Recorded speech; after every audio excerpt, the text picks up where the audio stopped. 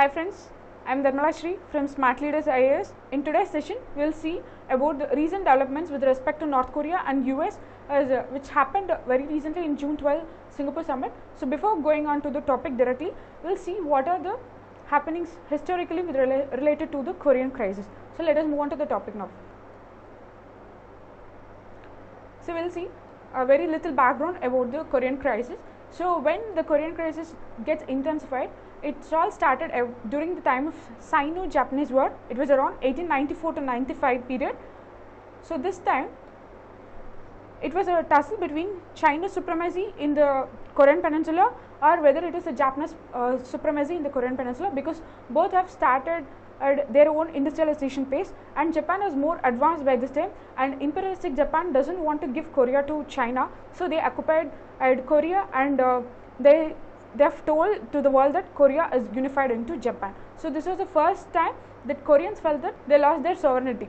So now some nationalistic Koreans were fled away from the Korean land to China. So there they started the base from the communist idea slowly slowly from 1900s onwards and especially it was intensified when during the Russia Japanese war in 1904 1905 because in 1904 5 Russia was to be withdrawn from the Korean peninsula according to the Russia Japanese war because Japan emerges victory in the Asia Asian crisis. So here Japan once again reaffirmed its stance on Korea that it is Korea is unified into Japan in 1904 and 1905 Russia Japanese war. So what happens? As of now the nationalistic feeling in the Korean uh, Korean peninsula started its uh, buds and uh, raising it to a next level. So here the communist tendency started developing more intense more in, in a very intense way. So all have fled to Soviet and as well as to the uh, nearby China. So they are uh, crossing the Yalu River which was the boundary between the Korea and uh, China. So now slowly there are two groups started emerging. One is the communist group and other one is moderate group in the Korean peninsula. So this this scenario will change after the period of World War II so we'll see what happens in the World War II scenario in World War II, Japan was about to defeat in 1945. So US bombed the Hiroshima and the Nagasaki. So it asked the Japanese forces to surrender. So this time it was utilized by China and the communist forces from Korea, which is operating in the uh, mainland of China, were able to go to the Korea, the two in the northern boundary. I can say this area, north, uh, northern Korean area. So now they've started gaining their supremacy and uh, almost to an extent.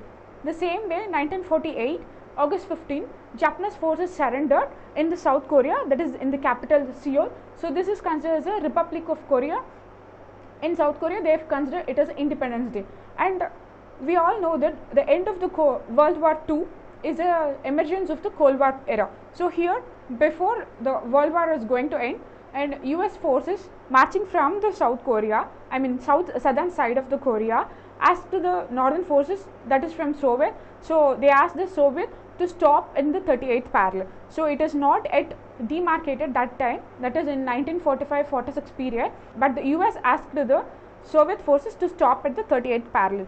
So here it slowly becomes a demilitarized zone and uh, in future it becomes a boundary between North Korea and the South Korea.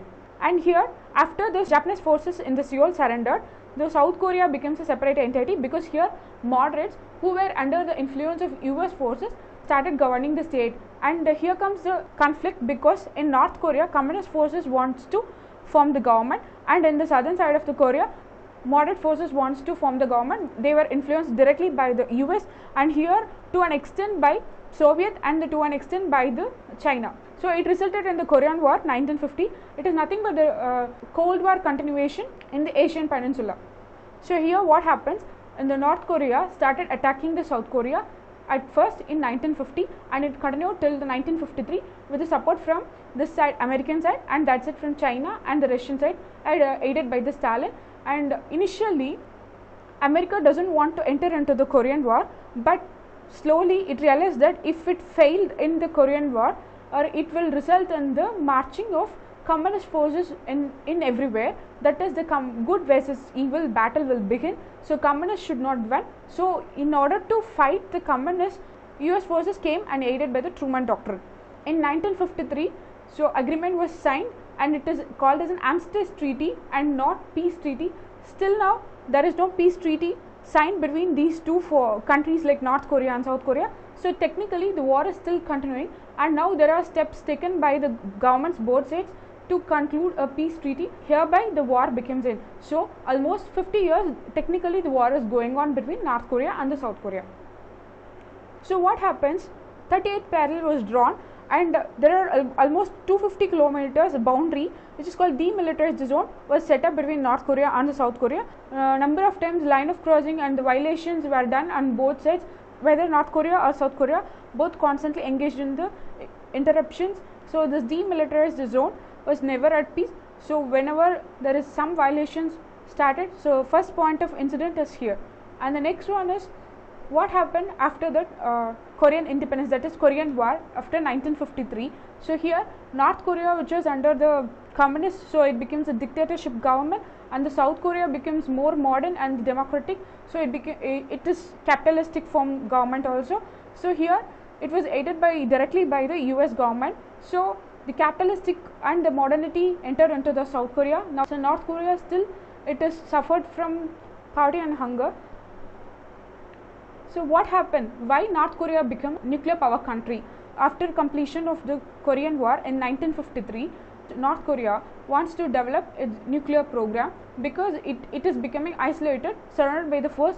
Because one side it is by Japan and other side it is from South Korea, and from here onwards, US conducted military uh, military drills almost annually in order to shows its readiness in the Korean Peninsula. And only support for North Korea is its ally China.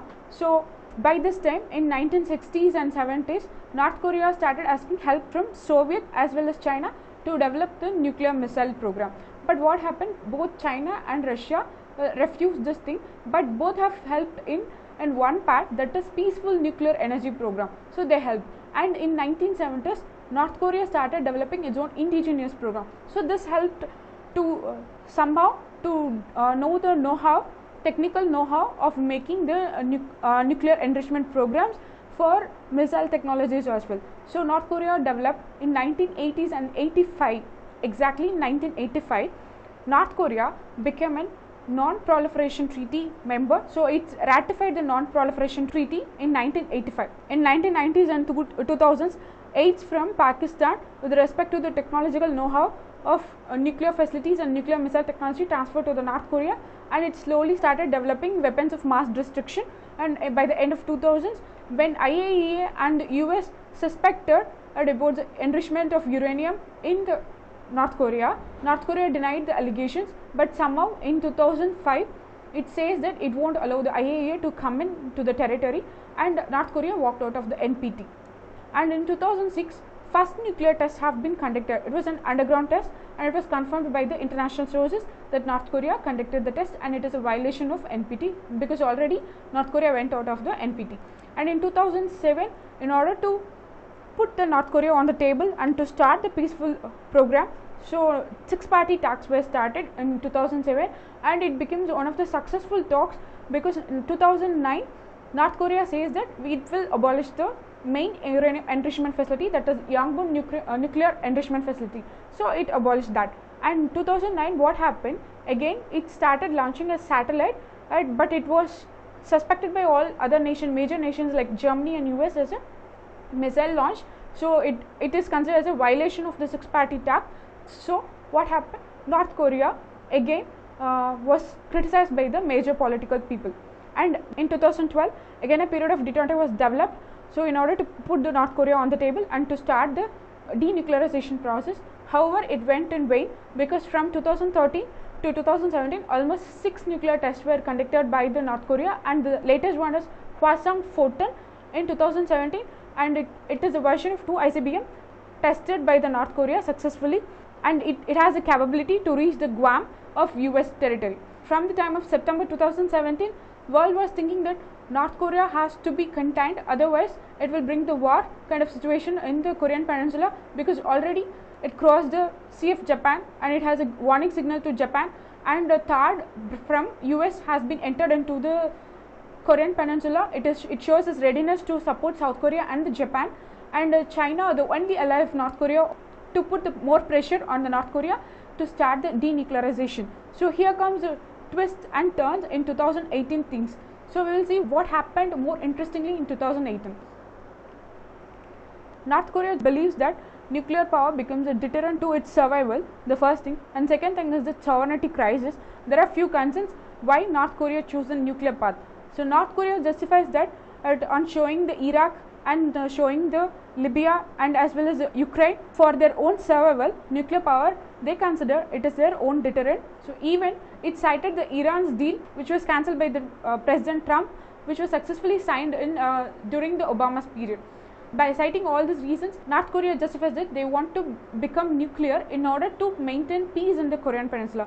However, tensions went to new height in the 2017 and in the initial uh, months of 2018 According to Chairman Kim, nuclear tests conducted by North Korea are only to denuclearize it because it gives a balance or uh, it gives an equal table for North Korea and his own regime in the international arena.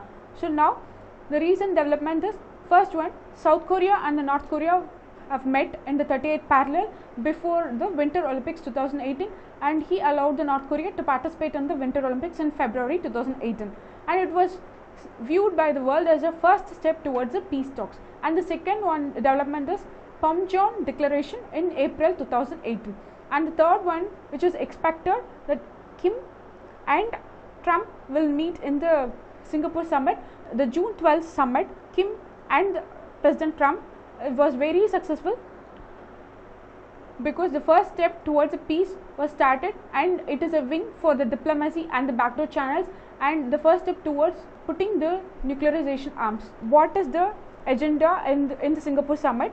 First step they have told that denuclearization process will start and for Trump said he told that he will halt the military drills conducted in the Korean peninsula and this will give you a major peace time for the North Korea to buy peace and it will start the denuclearization process. However, American president is giving handshake to one hand, uh, on the other hand he is keeping his stick because he says that sanctions will remain until the denuclearization will be completed. On the other hand, he wants the repatriation to be done and the political prisoners in the North Korean peninsula has to be removed. So these are the takeaways from the Singapore summit and so what will be the future?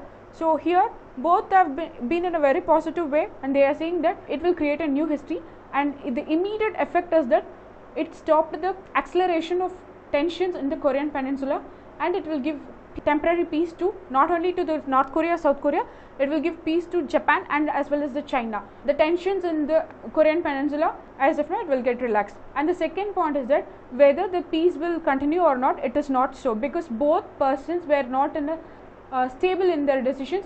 American president has enough capability to turn over the tables on his side and his counterpart Chairman Kim is uh, equally capable to turn the table on his own side. So we will see wait and watch approach. But to the Japan and uh, South Korea, they will see the denuclearization process once it started. They will see a sigh of relief. And for the world, whether it is a reunification of peaceful North Korea and South Korea or the peaceful Korean Peninsula, it is up to the coming days situations.